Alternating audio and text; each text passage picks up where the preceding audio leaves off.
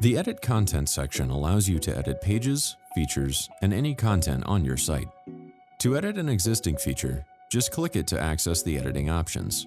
Simple features allow you to edit them in line, like text or titles. More robust features like music or blogs will open a screen with many options for that feature. To change your page layout, you can hover over a row and use the Edit Columns option here to add columns or full-width rows. To move a feature, select the Move option on Hover here, and then place it on another section of the page, or a different page. To delete a feature, select the Delete icon on Hover here. To add new content or features, click the Add Content button here and choose from the feature options. Then, click any open space to place it on your page.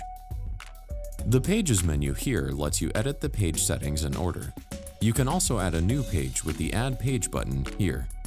To reorder your pages, click and drag the arrows within this menu. You can delete or adjust a page's options by using the Edit icon next to the page name here.